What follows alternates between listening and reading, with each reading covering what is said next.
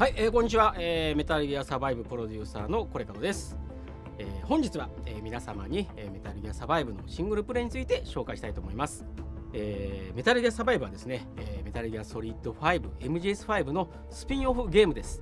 MGS5 で好評だったあーゲームシステムやアクション性を生かして、えーサバイバル要素の強いストリーモードであるシングルプレイ。そして仲間と共にですね、えー迎撃ユニットや防衛ユニットを自由に配置して、え戦う戦略性の強いコーププレイ2つのモードがあります。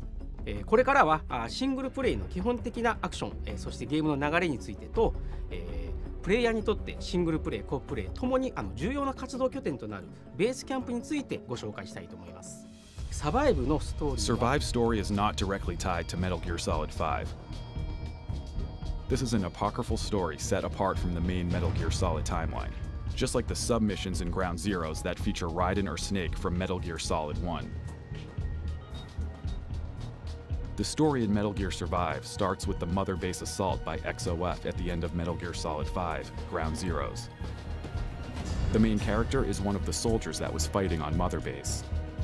Just when the mother base started to collapse, a wormhole appeared in the sky and sucked in debris, corpses, and soldiers that were still alive. Our protagonist managed to escape this fate. Six months later, the player is sent by a mysterious organization through the wormhole to an alternate world. In this world, the player first arrives at base camp, set near a wrecked mother base. Food and water are still essential resources needed to survive. A small number of animals can be found here, which you can hunt for food.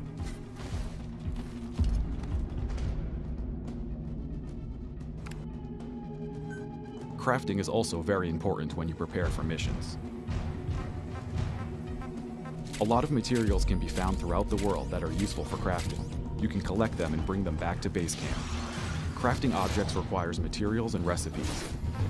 You can come up with your own recipes when it comes to cooking, but for powerful items and weapons, you need to get the recipes as rewards in multiplayer.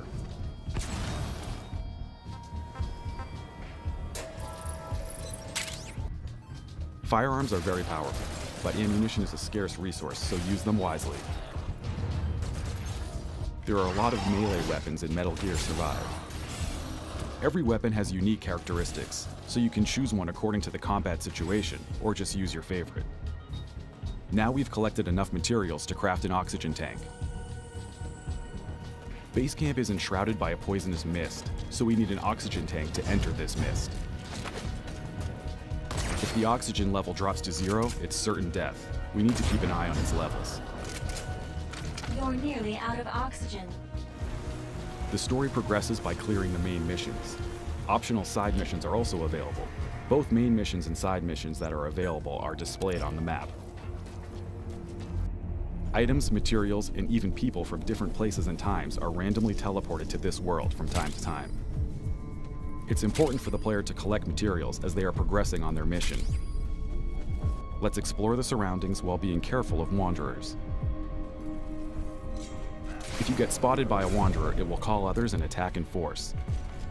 I recommend you sneak behind the creature's back or kill it with a silent weapon, such as a bow. You can only carry a limited number of arrows, but fortunately, you can pick up the ones you fired. Containers will give you precious items and recipes. You can destroy them to get the items faster, but you can also take more time and open them silently. We found a female survivor. She's still alive. Let's hurry to bring her back to base camp. Thank you. The materials you collect are not only used for crafting, but also for strengthening the base camp's defenses. You can build many types of facilities in your base camp. You can farm crops, build water tanks, or facilities to develop better items and weapons.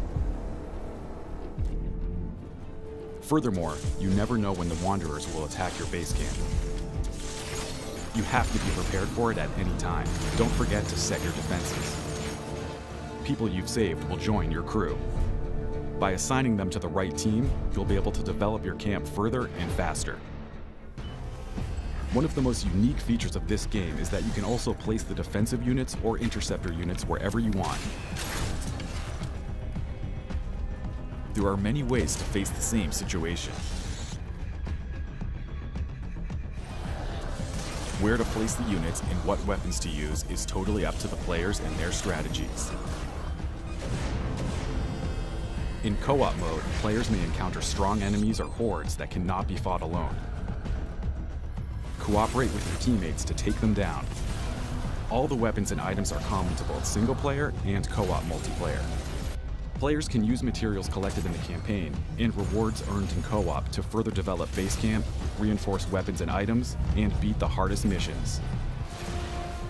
はい、えーいかがでしたでしょうか、えーシングルプレイの基本的なゲームの流れやアクションについて、えー少しでありますがあご理解いただけたのではないでしょうか、 えこれまであのメタルギアシリーズは、えメタルギアオンラインのように本編のシステムを使って、え本編とは違う遊びを提供してきました。